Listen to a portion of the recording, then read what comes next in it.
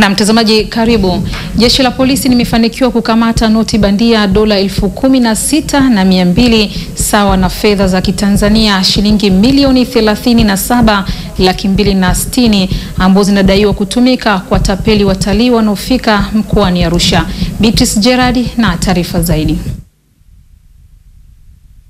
Akizungumza mara baada ya operesheni hiyo, kamanda wa polisi mkoa wa Arusha Jonathan Shana amesema kwa sasa jeshi hilo linaendesha operesheni maalum yenye lengo la kukomesha uhalifu na uhalifu, huku akiwataja watuhumiwa. Askari wa jeshi la polisi mkoani hapa walifanikiwa kuwakamata watuhumiwa wawili ambao ni Ladislaus Peter Mkim mwenye umri wa miaka 62. Huyu ni fundi ujenzi na mkazi wa Lemara pamoja na mwenzake ambaye tumemtambua kwa majina ya William Galivuva mwenye umri wa miaka 37.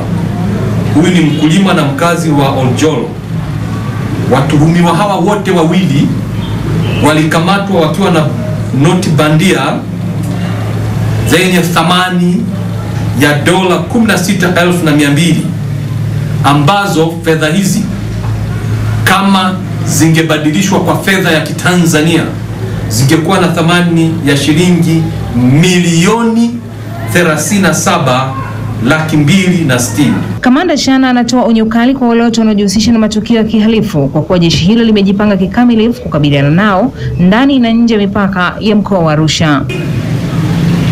Naomba kutoa onyo kwa wale wote wanaojihusisha na uhalifu wa aina hii kwamba waache mara moja, kwani tupo macho masaa ishirini na nne na bado tunaendelea kuwasaka nyumba kwa nyumba, uvungu kwa uvungu.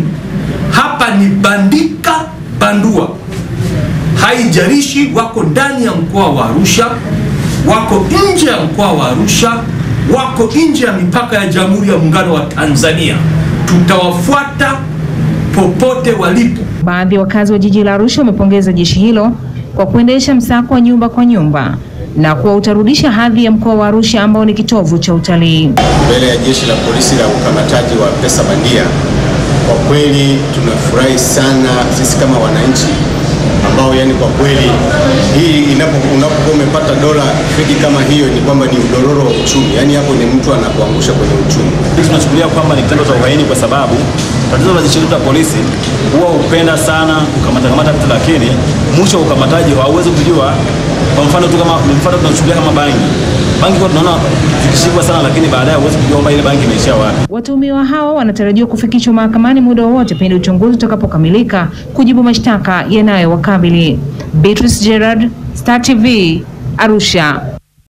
Bofya kitufe